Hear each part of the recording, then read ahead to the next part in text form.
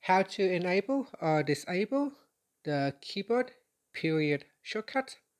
Double tap spacebar to insert a period on the iPhone 16 series.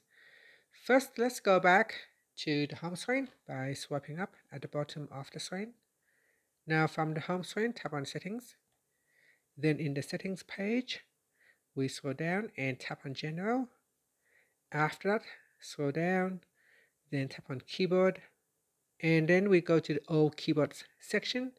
In here, tap on the shortcut toggle button. So tap on the period shortcut.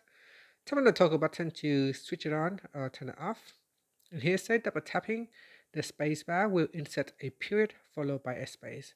So let's take a look at an example.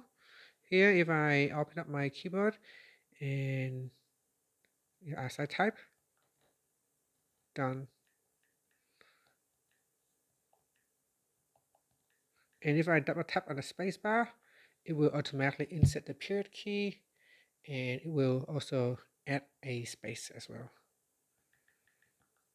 And that's it. So that is the double tap or the period shortcut uh, on the iPhone 16 series. Thank you for watching this video. Please like and subscribe to my channel for more videos.